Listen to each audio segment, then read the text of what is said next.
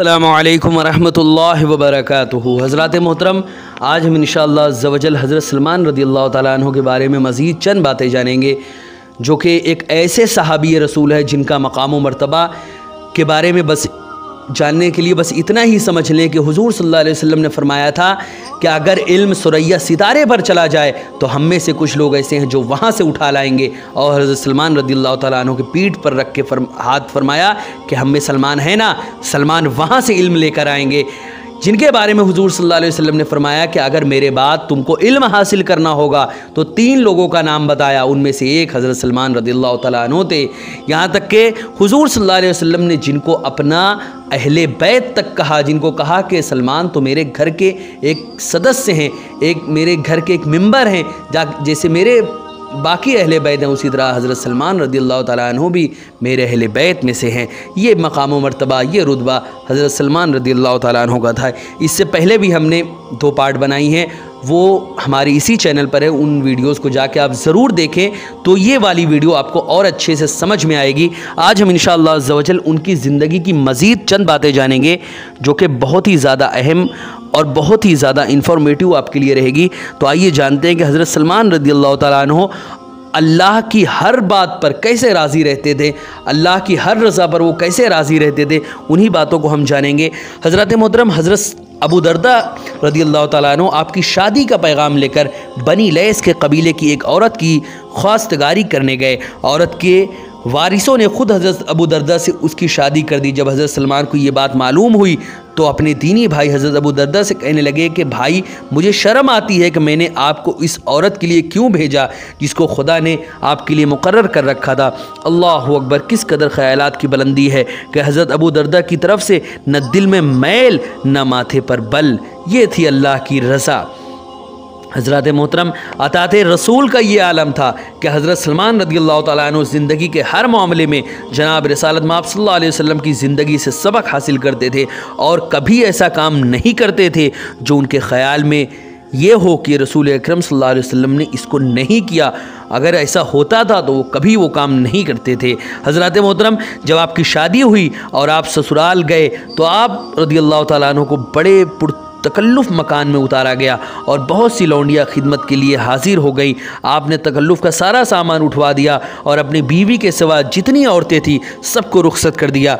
पहली मुलाकात में बीवी से जो बात की, वो खुदा और रसूल की अताश से मुतक थी। हज़रत मोहतरम, हज़रत सलमान रदी अल्लाह तु के इल्म दीन का ये आलम था। उनके इल्म और उनके जो अल्लाह की जानब से उनको इल्म अता किया गया था, उसका हाल ये था कि हुजूर सल्लल्लाहु अलैहि वसल्लम फरमाया करते थे कि सलमान तो इल्म से भरा हुआ है। हज़रत मौज बिन जबल ने अपने शागिर्दों से फरमाया कि इल्म चार शख्स से हासिल करो। उन चारों में से एक हज़रत सलमान रदी अल्लाह तु थे। हज़रत मोहतरम, एक मरतबा हज़रत सलमान अपने दीनी भाई हज़रत अबू दरदा के घर गए। देखा कि उनकी बीवी बहुत खस्ता हालत में है। उसके मैले, कुचैले कपड़े देख कर समझ गए कि हज़रत अबू दरदा ज़रूरत से ज़्यादा वक्त इबादत में गुजार देते हैं। खाने का वक्त आया तो मालूम हुआ कि अबू दरदा नफली रोज़े से हैं। हज़रत सलमान ने इसरार करके हज़रत अबू दरदा का रोज़ा इफ्तार कराया और अपने साथ खाने में शिरकत के लिए उनसे कहा, रात को अबू दरदा इबादत के लिए उठने लगे तो हज़रत सलमान ने हाथ पकड़ लिया। जब नमाज़ फ़ज्र का वक्त हुआ तो ख़ुद जगाने जगा कर कहने लगे कि उठो, नमाज़ पढ़ो, तुम पर सिर्फ़ अल्लाह ही का हक नहीं, बल्कि अपनी जान का भी हक है, अपनी बीवी बच्चों का भी हक है, अपने मेहमानों का भी हक है, इसलिए सबके हकूक़ को अदा करो। हज़रत मोहतरम बीवी के क्या हकूक़ है, बच्चों के क्या हकूक़ है, मेहमानों के क्या हकूक़ है, पड़ोसियों पड़ोसियों के क्या हकूक़ है, इस तरह की तमाम हकूक़ की वीडियोस मेरे मोहम्मदी चैनल पर हैं। आप जाएँ, उन सारे हकूक़ को जानें और उन पर अमल करके अपनी ज़िंदगी को मुनवर मुजल्ला करें, वरना ये बात जान लें कि अल्लाह ताला अपना हकूक़ तो माफ़ कर देगा, लेकिन अगर किसी बंदे का कोई हकूक़ बाकी होगा तो आपको जहन्नम में जाने से कोई रोक नहीं सकता, क्योंकि अल्लाह ताला अपना हकूक़ तो माफ़ कर सकता है, लेकिन लेकिन बंदे का हुकूक उस वक्त तक वो माफ़ नहीं करेगा जब तक कि बंदा खुद ना माफ़ कर दे। इसलिए हर एक के हुकूक को जाने और उनको अदा करने की कोशिश करें। हज़रत मोहतरम ये मामला हुजूर रसूल अकरम सल्लल्लाहु अलैहि वसल्लम की खिदमत में जब पेश हुआ तो आपने इरशाद फरमाया, सलमान सच कहते हैं और ए अबू दरदा, सलमान तुमसे ज़्यादा जानने वाले हैं। एक मरतबा आप रदी अल्लाह तु जुमा के दिन हज़रत अबू दरदा से मिलने गए। हज़रत अबू दरदा सो रहे थे, मालूम हुआ कि जुमा की रात को इबादत में जागते रहते हैं और दिन को सोते रहते हैं और रोज़ा रखते हैं। इस दफ़ा भी सलमान ने रोज़ा इफ्तार करा दिया और अपने साथ खाना खिलाया। इस दफ़ा भी रसूल सल्लल्लाहु अलैहि वसल्लम की खिदमत में पेश हुआ मामला तो आपने इरशाद फरमाया कि आए अबू दरदा, सलमान तुमसे ज़्यादा जानने वाले हैं और तुमसे ज़्यादा वो इल्म रखते हैं। एक मरतबा हज़रत अली से लोगों ने पूछा कि हज़रत सलमान के इल्म के बारे में हमें कुछ बताइए आप।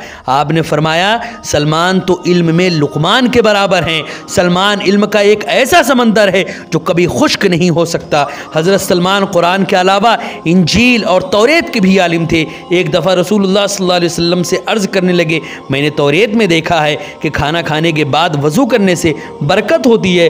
हुजूर अलैहि वसल्लम ने तस्दीक फरमाई कि सलमान, तुम सही कहते हो। हज़रत मोहतरम अब मैं इन शवजल हज़रत सलमान रदी अल्लाह तु के चंद अकवाल ज़र्री के बारे में ज़िक्र करूँगा, जिसको अगर हम अपनी ज़िंदगी में उतारना चाहें तो हमारी ज़िंदगी यकीनन बहुत ही ज़्यादा मुनवर मुजल्ला हो जाएगी और रोज़े रोशन के जैसे हमारी ज़िंदगी रोशन हो जाएगी। आज से हम हज़रत सलमान रदी अल्लाह तु के उन अखबाल सरनी को अपनी ज़िंदगी में उतार लें तो यकीनन हमारी ज़िंदगी हुजूर अलैहि वसल्लम के नक्श कदम के तहत हो जाएगी। आइए जानते हैं कि आखिर वो अखबाल ज़र्री क्या है। हज़रत सलमान रदी अल्लाह तु चाहते थे कि इल्म की जो भी दौलत उनको हासिल हुई है, वो हर शख्स को हासिल हो जाए। इसीलिए वो जिस शख्स को मिलते थे, उसे अच्छी अच्छी बातें सुनाते और कीमती नसीहतें करते थे। उनकी चंद नसीहतें यहाँ पर मैं बयान करता हूँ जिसको हर इन, हर इंसान अपने जहनों दिमाग में अच्छे से बिठा ले। आपकी पहली जो नसीहत थी वो ये थी कि इल्म एक समंदर है। इसमें कभी भी कोई कमी नहीं आ सकती। उसके बाद दूसरा आपका जो कौल है, वो है, उम्र बहुत कम है और इल्म बहुत ज़्यादा है। इसलिए जितना इल्म ज़रूरी है, उसे हासिल करो, बाकी को छोड़ दो। इसी तरह आपका जो तीसरा कौल है, वो ये है कि अगर बुराई ज़ाहिर करते हो तो नेकियाँ भी ज़ाहिर करो और अगर बुराई छुप कर करते हो तो नेकी भी छुप कर करो। इसी तरह चौथा जो आपका कौल था, वो ये था कि ख़राब बातें करने से चुप रहना बेहतर है, क्योंकि चुप रहेगा इंसान तो गुनाहों से महफूज रहेगा।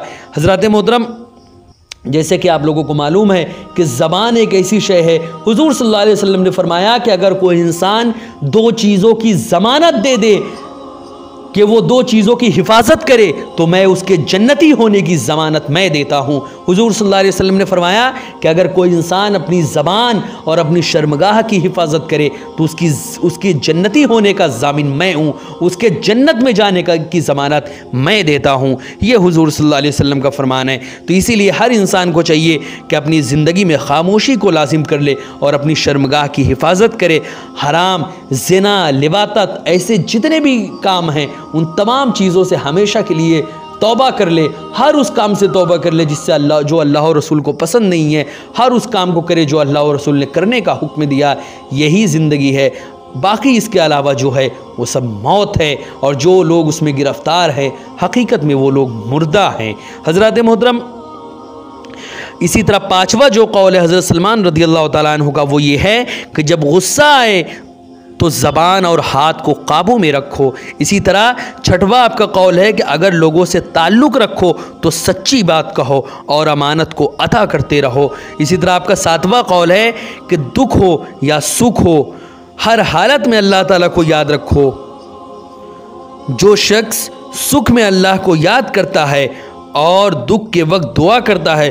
फरिश्ते उसकी आवाज़ को पहचान लेते हैं और उसके लिए दुआ करते हैं। इसी तरह आपका आठवां जो कौल है वो ये है कि पाक जगह पर रहने से इंसान पाक नहीं बन जाता, बल्कि खूबी तो ये है कि वो खुद पाक हो। जैसे कि आप लोगों को मालूम है, इंसान अगर उसका दिल पाक है तो वो चाहे किसी भी घटिया समाज में हो, वो इंसान पाको मुनज़ा है। लेकिन अगर किसी इंसान का दिल गलीज़ है, अल्लाह और रसूल से नफ़रत करने वाला है, अल्लाह और रसूल से उस अल्लाह और रसूल की मोहब्बत उसके दिल में नहीं है, बल्कि वो इंसान ऐसा है कि वो इंसान हर वक्त कुफ्र शिरक और ऐसे ऐसे कामों में, फिसको फजूर में वो मुबतला रहता है तो वो चाहे मदीना या मक्का ही में क्यों ना रह रहा हो, मरने के बाद वो जहन्नम में जाएगा, क्योंकि जगह से ज़्यादा इंसान की नीयत और अमल अहम होता है। मदीना में रहने के बाद भी इंसान अगर अमल नहीं अपना सही करता तो वो जहन्नम में जाएगा।